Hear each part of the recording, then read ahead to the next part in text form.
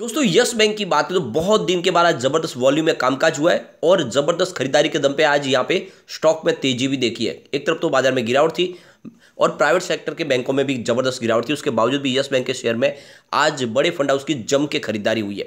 और पिछले कुछ दिनों से देखें तो एफआई की तरफ़ से यहाँ पे खरीदारी हो रही है। और अब आप ये देख सकते हो कि जिस तरह से ये डील हो रही है, ये इशारा करिए कि यहाँ से एक फिर से शानदार तेज़ी की संभावना बन सकती है। वैसे यस बैंक की बात करें तो सब कुछ बढ़िया है। रिज़ल्ट भी ठीक है, क्योंकि इस बार जो प्रॉफिट कमाए तो उसके पीछे बड़ा प्रोविज़न रखा गया है और उसकी वजह से कि आने वाले समय सेहत न बिगड़े यस बैंक की इसलिए प्रोविज़न को रखा गया है। लेकिन जो सबसे बड़ी प्रॉब्लम है, वो है 81 बॉन्ड्स का मामला। लेकिन ये मामला अब लंबा चलेगा, क्योंकि तो सुप्रीम कोर्ट में अपील की जाएगी और हो सकता है इसमें छः महीने लगे या साल लगे। और इस समय ऐसे भी कोई बड़ी प्रॉब्लम वाली बात नहीं है। इस समय बाज़ार के लिए सिचुएशन जो सबसे बड़ी बिगड़ी हुई है, वो है अदानी ग्रुप की वजह से। अदानी ग्रुप के शेयरों में जिस तरह से गिरावट हो रही है, उसकी वजह से देखें तो पूरा मामला बिगड़ा हुआ है और इसकी वजह से लगातार देखें तो बाज़ार निगेटिव बना हुआ है और ऐसे में स्टॉक सारे नीचे आ रहे और specially mid cap small cap में काफ़ी ज़्यादा गिरावट भी हुई है। लेकिन जिस तरह से आज शानदार खरीदारी हुई है, क्या इशारा है कि अब एक ज़बरदस्त तेज़ी का दौर शुरू हो सकता है? क्या इस समय में यस बैंक में फिर से इन्वेस्टमेंट करना चाहिए? इन सारी बातों को समझेंगे इस वीडियो के माध्यम से। लेकिन फ्रेंड उससे पहले, अगर आप पहली बार हमारे चैनल पर आए तो चैनल को सब्सक्राइब कर दीजिए। एक बेल आइकॉन दबा दीजिए ताकि जब भी नया वीडियो बने, पहला नोटिफिकेशन आपको मिले वीडियो पसंद आए तो लाइक शेयर ज़रूर कीजिए। चलो फ्रेंड्स वीडियो स्टार्ट करते हैं। मैं हूँ आपका दोस्त एस बी दवे और हमारे अपने चैनल ऑनलाइन कमाई में आपका बहुत बहुत स्वागत है। सबसे पहले अगर हम बी एस सेंसेक्स की बात करें तो आज sixty thousand five hundred six पर क्लोजिंग रही। Three hundred thirty four point की हमने गिरावट देखी, यानी पॉइंट फाइव फाइव परसेंट गिरा बी सेंसेक्स फ्राइडे को हमने नौ सौ पॉइंट की तेज़ी देखी थी लेकिन वो तेज़ी सिर्फ़ ऊपर के इंडेक्स में थी। आप देखें तो मिड कैप स्मॉल कैप में तो फ्राइडे को भी काफ़ी बड़ी गिरावट हुई थी, सभी शेयरों में गिरावट थी, और आज पूरे बाज़ार में हमने गिरावट देखी आधा परसेंट की। तो दबाव बना हुआ है, और यहाँ पे आप देख सकते हो Nifty fifty seventeen thousand seven hundred sixty four पर आ चुका है पॉइंट फाइव ज़ीरो परसेंट की गिरावट वहाँ पर भी है। निफ्टी बैंक की बात करें तो forty one thousand three hundred seventy four के स्तर पे पॉइंट थ्री ज़ीरो परसेंट की गिरावट थी। निफ्टी पीएसयू बैंक में three thousand eight hundred ninety eight के स्तर पे पॉइंट टू फाइव परसेंट की तेज़ी थी। यानी पीएसयू बैंक आज थोड़ी सी तेज़ी देने, दिखाने में कामयाब रहे।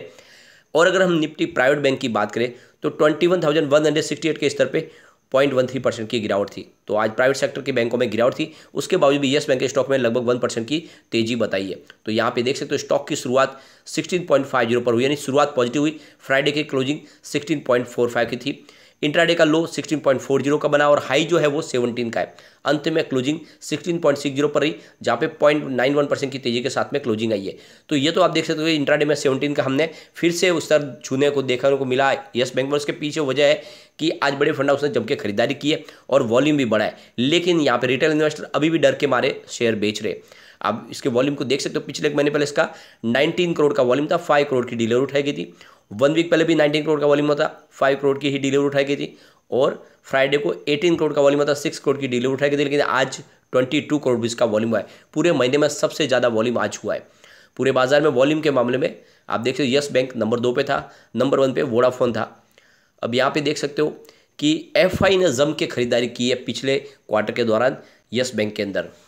यहाँ पे अगर हम एफआई होल्डिंग की बात करें तो क्वार्टर थ्री के दौरान अगर देखें तो जो होल्डिंग है, वो 23.24 परसेंट पर आ चुकी है।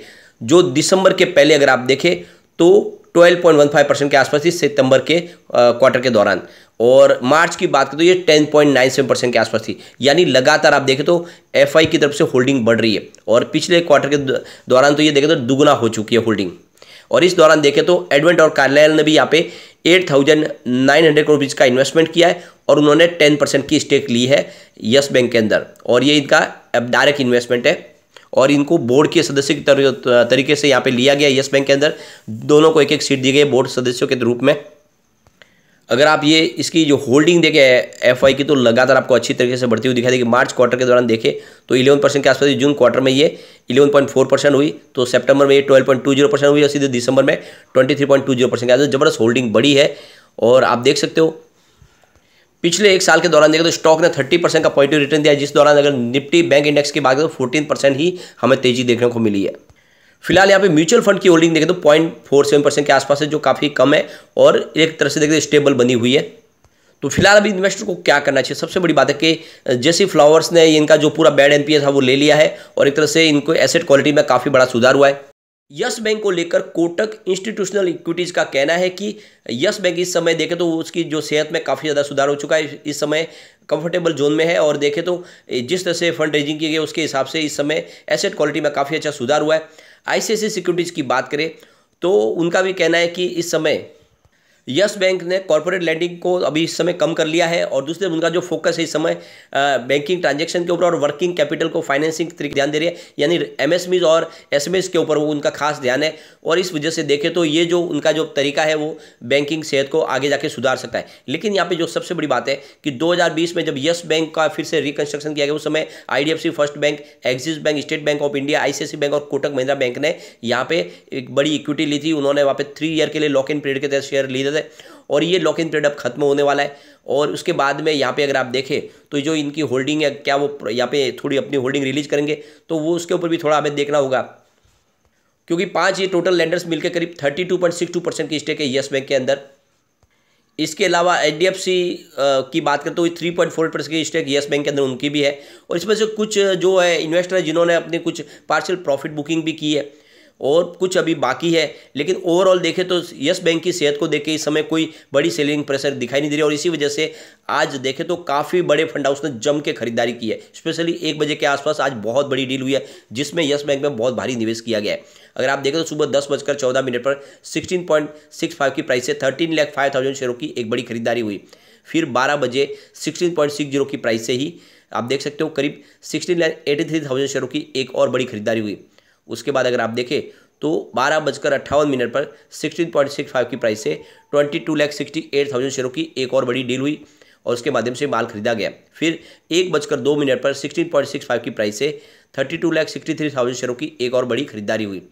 फिर उसके बाद एक बजकर छः मिनट पर सिक्सटीन पॉइंट सेवन ज़ीरो की प्राइस से eighteen lakh fifty eight thousand शेयरों की एक और बड़ी खरीदारी हुई।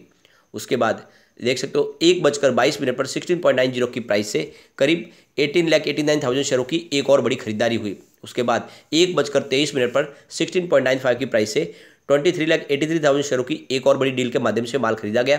फिर एक बजकर तेईस मिनट पर उसी समय सेवनटीन की प्राइस से twenty lakh sixty seven thousand शेयरों की एक और बड़ी डील हुई और इसमें भी माल खरीदा गया। फिर एक बजकर चौबीस मिनट पर सिक्सटीन पॉइंट नाइन फाइव की प्राइस है। Forty one lakh ninety six thousand शेयरों की एक और बड़ी डील हुई। तो ये तो आप देख ही सकते हो कि आज बहुत बड़ी डील के माध्यम से जम के खरीदारी हुई है और काफ़ी दिनों के बाद आज बड़े फंड हाउस ने यहाँ पे एफआई की भी खरीदारी हो सकती है या फिर बड़े फंड हाउस की हो सकती है, लेकिन आज खरीदारी काफ़ी अच्छी हुई है यस बैंक में, जो इशारा है कि आने वाले समय फिर से यहाँ पे एक अच्छे बाउंस बैक की संभावना बन सकती है और इस सेवनटीन के स्तर से स्टॉक फिर से ट्वेंटी की तरफ़ जाता हुआ दिखाई दे सकता है। बसरते कि बाज़ार साथ दे। वैसे अगर आप एफआई की बात करें तो एफ़ बाज़ार में अभी भी बिकवाल बने हुए आप देखो एक फरवरी को उन्होंने one thousand seven eighty five rupees की खरीदारी की थी, लेकिन उसके बाद में दो फरवरी को उन्होंने three thousand sixty five rupees की बिकवाली की, तीन फरवरी को उन्होंने नाइन हंड्रेड थर्टी रुपीज़ की बिकवाली की तो आज उन्होंने one thousand two hundred eighteen rupees की बिकवाली की। और इस वजह से अभी थोड़ा सा बाज़ार के सेंटीमेंट बिगड़ते हुए दिखाई दे रहे हैं, क्योंकि एफआई लगातार बाज़ार में बिकवा रहे दिसंबर से ही। अब एक बार हम इसके पीवोट लेवल को चेक कर लेते हैं। यहाँ से अगर गिरावट होती है तो 16.02 का फ़र्स्ट सपोर्ट है। ये टूटा तो स्टॉक 15.5 तक जा सकता है। और तीसरा सपोर्ट 15.02 का ये तभी पॉसिबल है जब बाज़ार में और हज़ार, दो हज़ार पॉइंट की गिरावट हो, तब तक, वरना इसके नीचे फिफ्टीन के नीचे आने की संभावना बहुत कम है। पॉजिटिव माहौल बनेगा तो आप देख सकते हो सेवनटीन पॉइंट ज़ीरो टू का फ़र्स्ट रेजिस्टेंस है। इसको पार कर लिया तो सेवनटीन पॉइंट फाइव तक स्टॉक जाएगा और वहाँ तक पहुँच फिर एटीन पॉइंट ज़ीरो टू फिर से, यानी अठारह को पार कर सकता है। तो अभी हमें वेट एंड वॉच करना चाहिए।